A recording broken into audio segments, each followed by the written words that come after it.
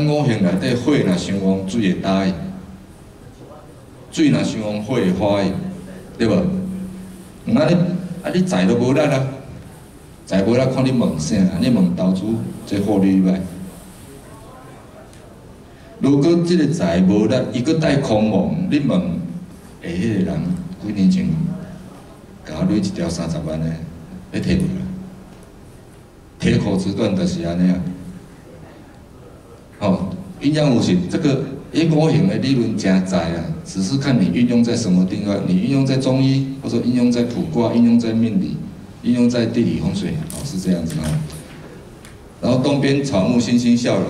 啊，西边属金嘛，因为我们这个文化学术是从中国大陆来的，青冈藏高原遐富含金矿，所以西边属金吼，土在中间，土在中吼。十二生肖，十二生肖的演变是因为你古时候这些钦天监这些懂天文地理的人，他只能为皇帝服务嘛，啊，但是改朝换代点来战争啊，啊，这人死无去啊，死无去，伊不爱为新主服务。爱个当挂了，一定告老还乡嘛。告老还乡，他的学术还是会应用出来啊。应用出来，他面对的是农民啊，唔捌字啊，唔捌字要讲甲伊听有吼，伊记会起来。著书立说，做基本教育吼，把天干地支家禽家畜化，安尼讲听有？你甲一个农夫讲住伫北边，伊听有？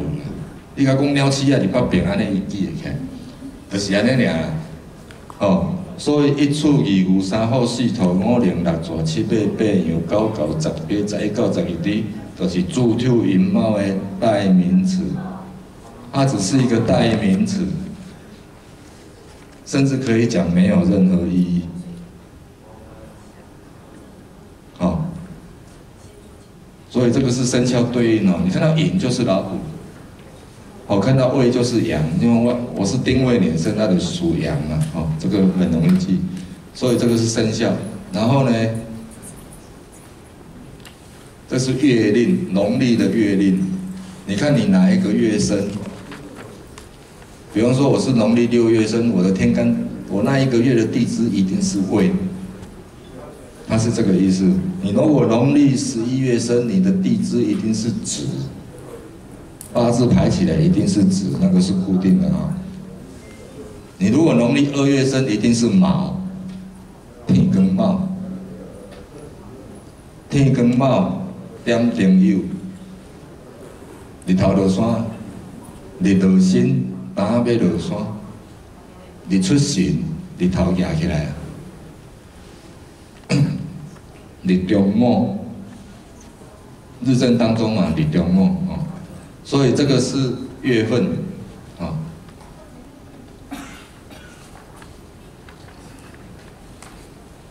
哇，这个颜色不明显。这个我刚讲的那个是时间，早上的九点到十一点就是四十，中午十一点到一点是五十，这个跟他错题呢。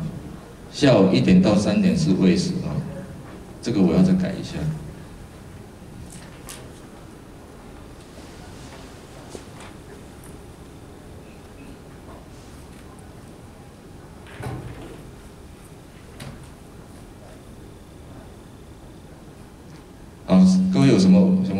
让大家提对面向今天的演讲有什么很好奇的，你想要问的，干有？不然特别交互 A D 处长的，何理事长，时间要交给你。A D 我看我一问，有没有问题？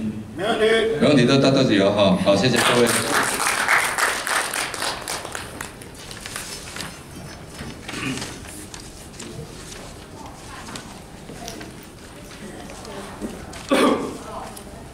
也是仁爱的，哎，金城，哦，有啦，我我想看你的手机，有啊，你人几件？我知啦，我家己啦。